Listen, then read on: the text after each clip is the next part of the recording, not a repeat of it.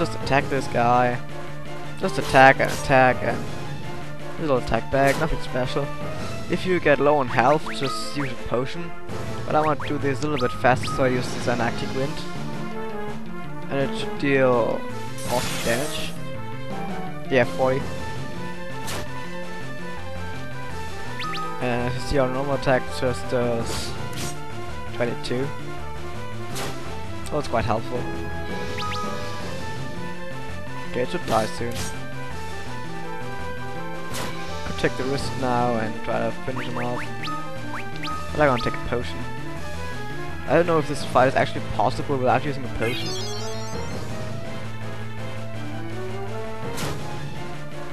Because it doesn't seem like it is. He's level 3 then I think it should be possible. Oh yeah, I could have killed him there.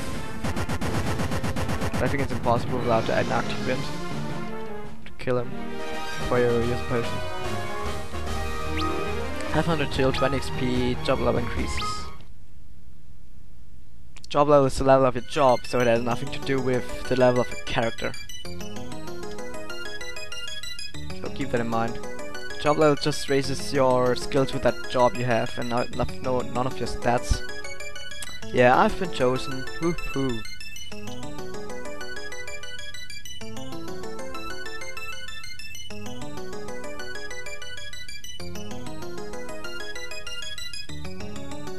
Course, in any Final Fantasy game it has to be like this.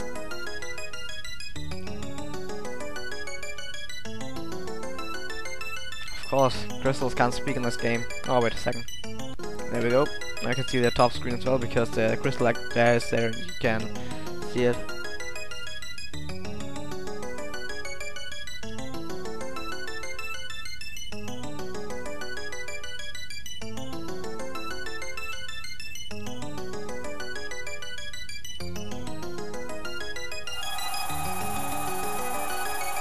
Uh, I don't care, I understand.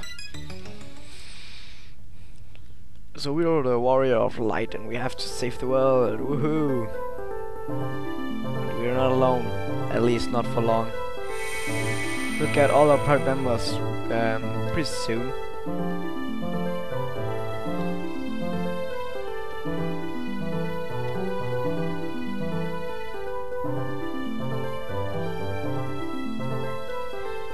No, it's not that intelligent. This is the world map, but somehow this emulator hates me, so... Yeah, you can see the map on top screen. So we go into our hometown. It's Ur.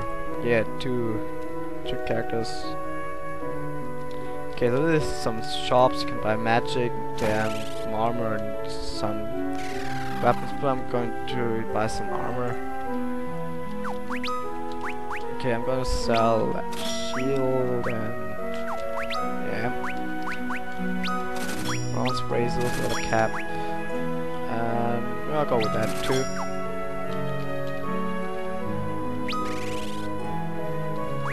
So let's equip that. You can see our defense goes up.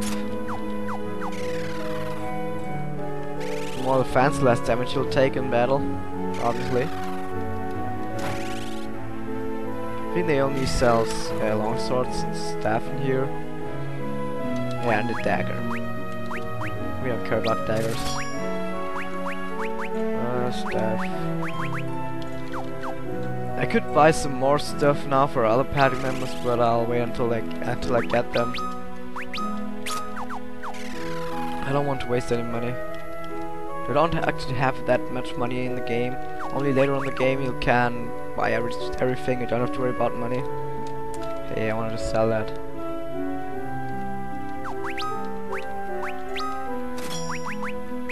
On top screen you can see um, uh, who of your party members can take the weapons, but as a freelancer you can have any weapon you want. But most important, let's go for magic. I think this magic system is like in Final Fantasy 1. So you buy some magic and you learn them to your characters. And you have poison up persona, I mean, don't need that. And every character has different slots of magic. sorted after a certain level. We have level 1 to level 8 magic. And in each level we can select 3 different spells.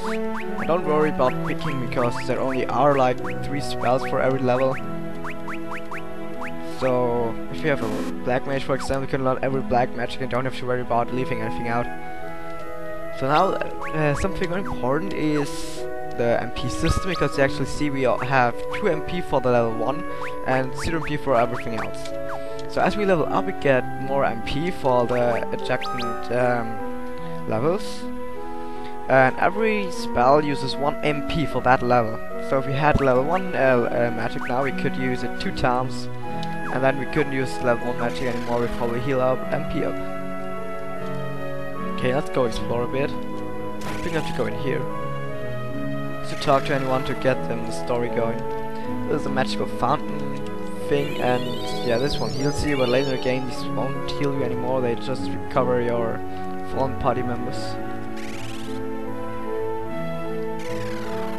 So later in the game you uh, always have to go to an inn to uh, recover.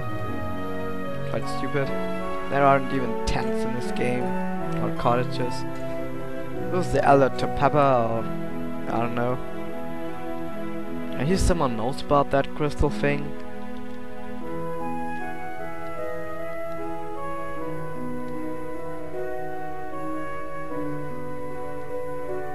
Blah blah blah.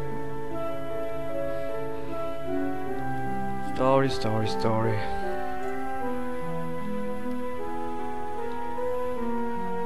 So we got chosen by the crystals and we now are chosen to save the world. Woohoo! That's the end. Can heal up in there. As this is our hometown, I think we can heal up for free. And then we have to go to here, because here is a friend of Luneth. It's Arc. These guys don't like him, I don't know why. Here we have Arc. I won't rename any characters. For obvious reasons. Yeah, Luna is like the cool guy. And Dark is like that intelligent guy that no one likes because he's not cool.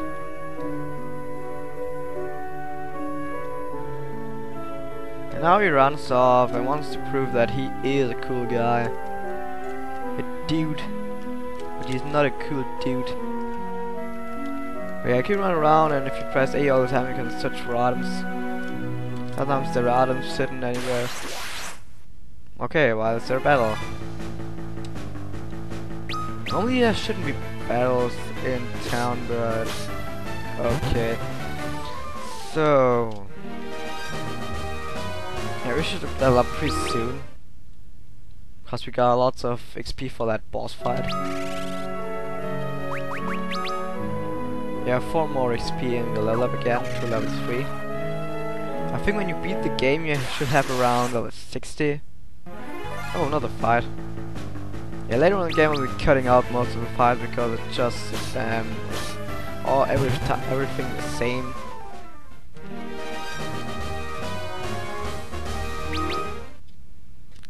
Oh yeah, have a look at the top map. Yeah, we're right now on the bottom uh, top right hand corner and the map is quite empty, but after you visit some places, they get marked on the map. We can uh, remember where they are. Unlike in other Final Fantasies, I think in Final Fantasy 1 and 2 uh, didn't even have a map, so it's quite stupid.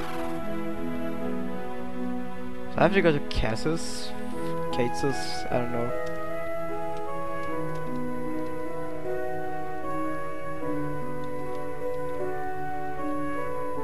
okay, okay, let's go. Off to that thing stuff. Kazakh. Uh, what's his name? Off to the south.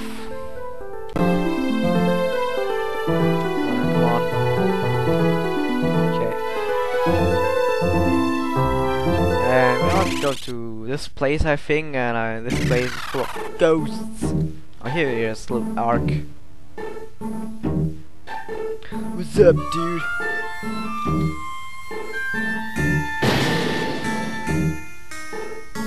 He was supposed to jump up like he was shocked, but wasn't that obvious.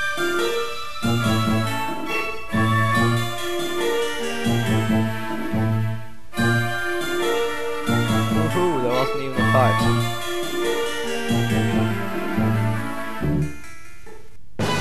Yay, Arc joined the party.